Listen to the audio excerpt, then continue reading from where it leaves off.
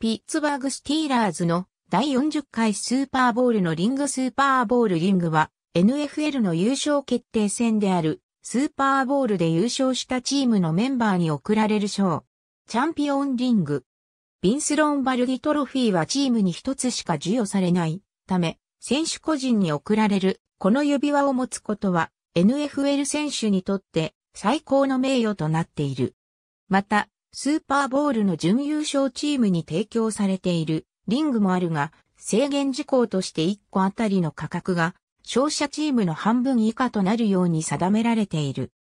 作られたスーパーボールリングの授与式は、翌シーズン最初のホームゲームやファンミーティングなどの際に行われ、ホームのファンたちの目の前で、昨年の優勝ロースターやチーム関係者たちに授与、栄誉を祝福される重要なセレモニーとなっている。この他にも AFC や NFC で優勝したチームのメンバーにもリングが授与される。リングはダイヤモンドをあしらったイエローゴールドまたはローズゴールドで作られている。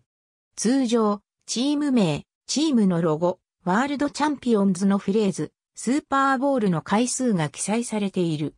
ほとんどのリングには、ビンスロンバルディトロフィーやボールの形をしたダイヤモンドがあしらわれており、チームの優勝回数を表している。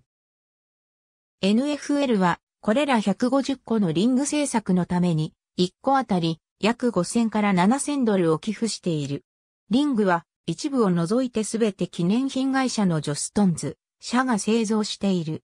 勝利したチームは選手、コーチ、トレーナー、幹部、人事、及び一般スタッフ以外にもチームが望めば誰にでもいくつでもリングを授与することができる。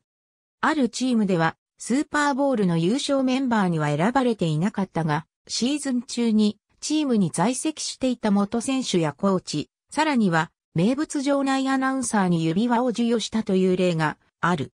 スーパーボールリングを獲得した日本人2006年にピッツバーグスティーラーズのトレーナー磯ゆり子が日本人として初めて獲得したが職業上の理由により代わりにペンダントとして授与された。ありがとうございます。